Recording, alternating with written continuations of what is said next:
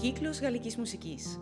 Η μουσική συναντά την ποίηση. Ένα ταξίδι στα ονειρικά μονοπάτια της ποίησης, όπως μόνο η μουσική μπορεί να την αναδείξει. Με τους Νικόλα Καραγκιαούρη Βαρύτονο, Πάνο Λουμάκη Πιάνο.